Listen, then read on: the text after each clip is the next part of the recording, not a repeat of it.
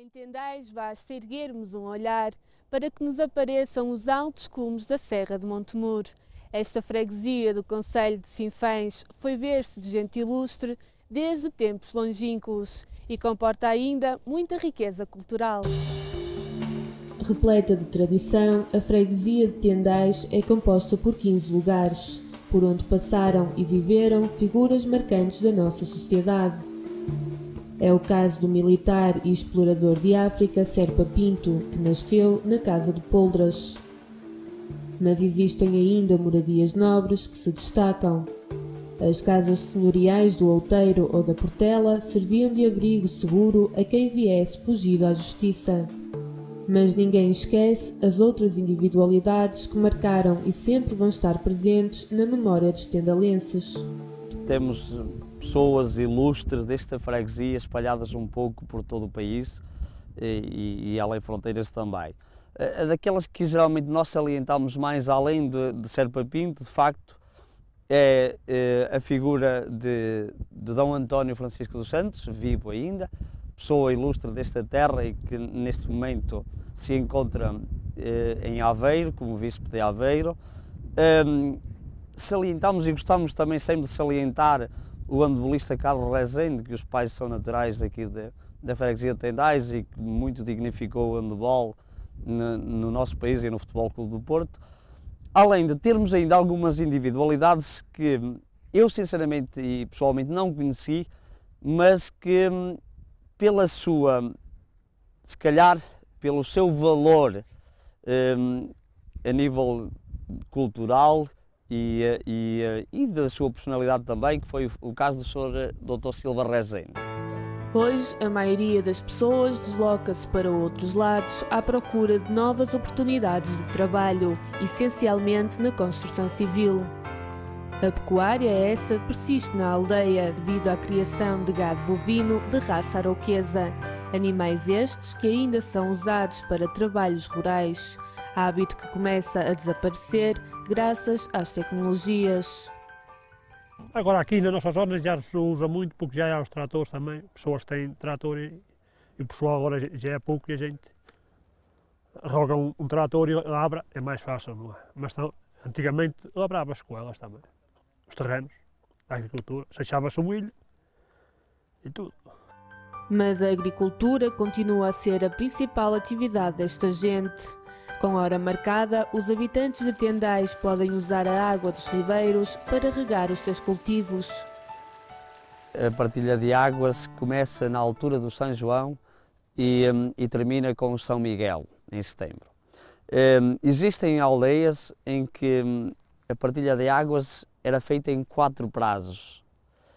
Hum, isto porque, segundo dizem uh, as pessoas mais antigas, a aldeia apenas se dividia em quatro famílias. E então dividiram a água por essas quatro famílias e ficaram nos, nos chamados quatro prazos, que hoje são, têm uma divisão mais alargada, mas continuam de facto as pessoas a saberem que naquele dia de manhã tem que tapar a água porque à noite ela tem que ir para outro vizinho. Os costumes antigos vão mudando, mas ainda há quem se dedica ao artesanato, uma raridade cada vez maior na região.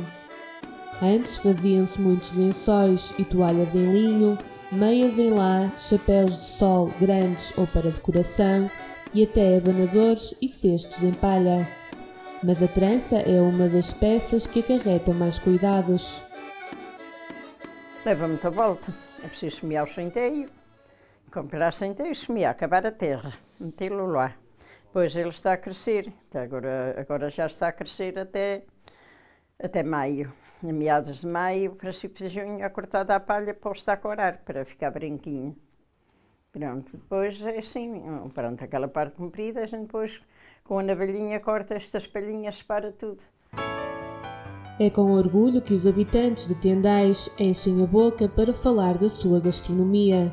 A maioria dos pratos típicos deriva dos animais de raça aroquesa alimentados à base de vegetação natural.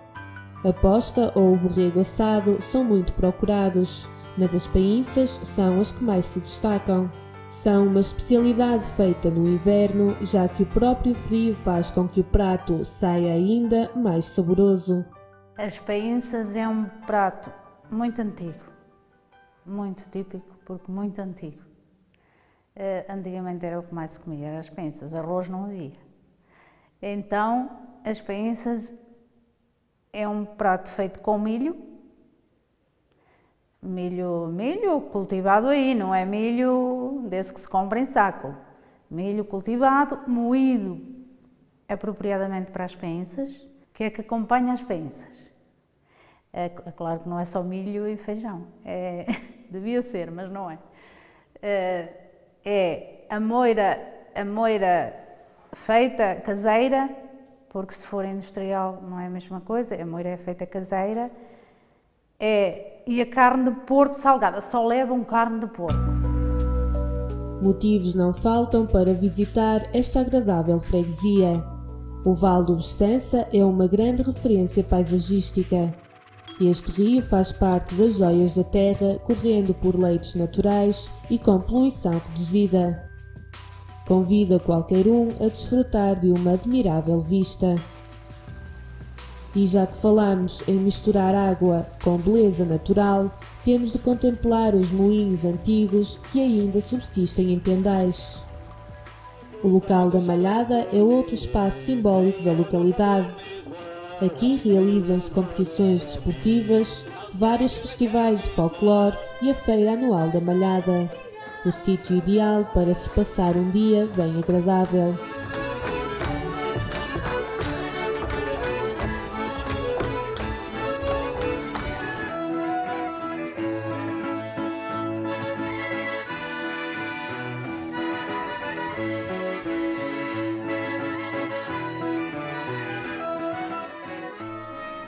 Também podemos deslumbrar o olhar com o famoso rochedo em forma de tromba do elefante, a carismática imagem que nos aparece no cimo daquele monte. Seguimos a visita e num dos pontos mais altos da montanha avistamos o local de São Pedro e a linda capela em homenagem ao santo.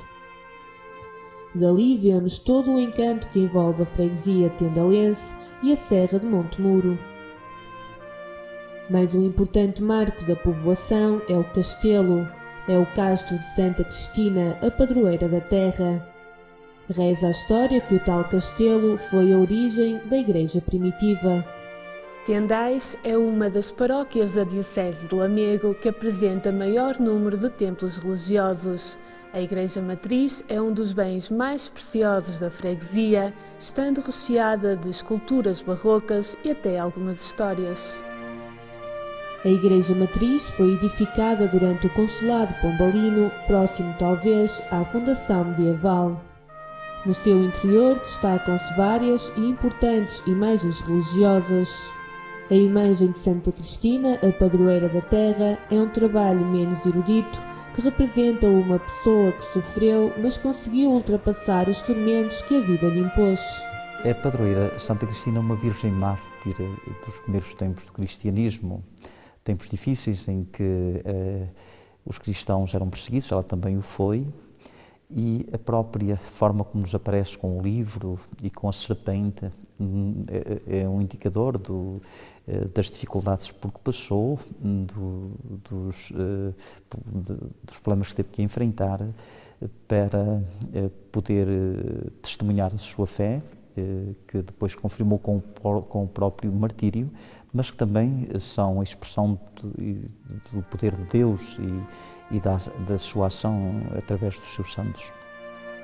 Ao lado, o cemitério que sofrerá em breve uma ampliação devido à falta de lugares. Promessa essa já feita pela Junta de Freguesia, estando o projeto em curso. Mas esta não é a única iniciativa pensada para Tendais. Aqui também cresce um espaço para privilegiar os mais velhos, o Lar de Santa Cristina. É uma obra que nos fazia muita falta aqui na freguesia e nesta zona alta do Conselho de Sinfãs, porque não existia. É uma obra que, a partir de irá ficar uh, a servir uh, 30 utentes acamados, o que já é muito bom para a nossa região e que de facto é um sonho e costumamos nós dizer que é a obra do século XXI. Cada uma das 15 aldeias de Tendais é uma varanda fincada na beleza paisagística. O emaranhado de rochedos e a exuberante vegetação acompanham a formosura da serra e o leito natural do rio. e assim surgem socalcos lavrados com a harmonia e o bem-estar que agarram o seu povo à terra.